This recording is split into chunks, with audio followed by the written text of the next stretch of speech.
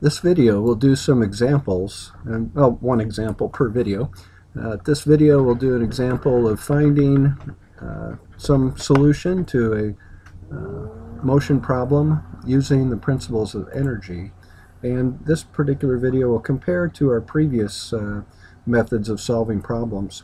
So we have a 10 kilogram object, it's on an inclined plane, it, the plane is frictionless, the angle of the plane is 62 degrees up from the horizontal, and the object 1.4 meters from the bottom of the plane.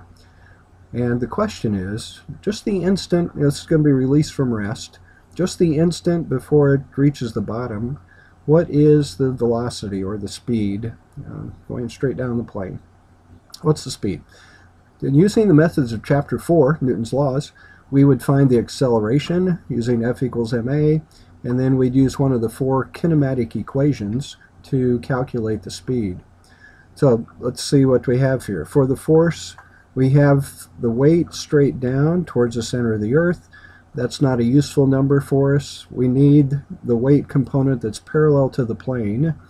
In this problem, since friction is not uh, a factor, we do not need the weight that's perpendicular to the plane because we do not need to know the normal force. We're interested in the force in the direction of motion.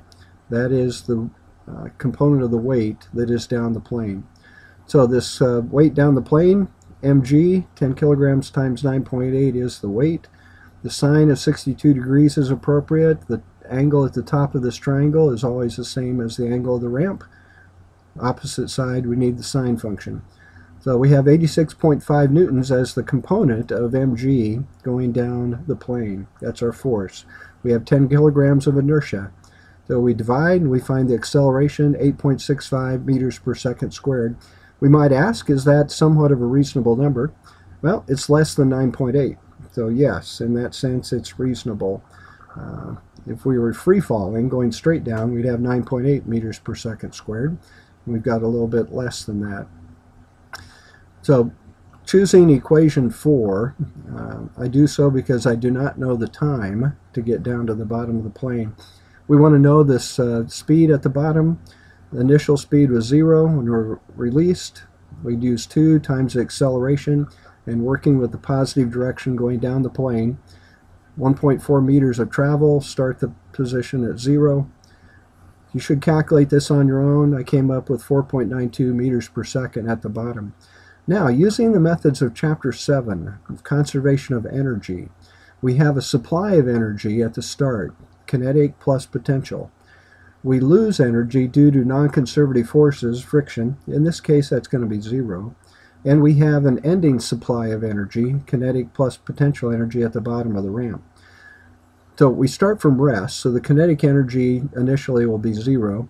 We will have potential energy in the form of gravitational potential energy that we calculate with mgh, the mass, g 9.8, and I've calculated here h 1.236 using 1.4 meters as the hypotenuse of the triangle.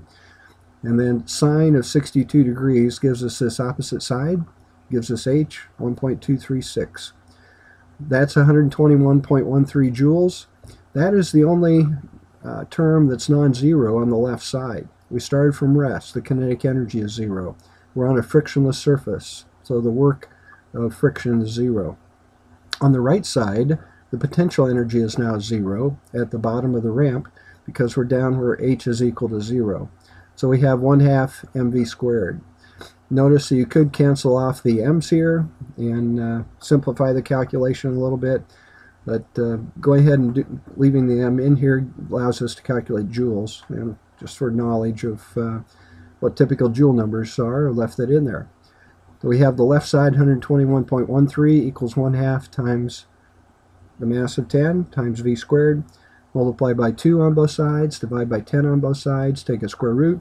4.92, does that sound familiar? The meters per second. It's identical to what we have up here. In this situation, you can solve the problem either using Newton's law, F equals ma, and our kinematic equations, or use the energy concept.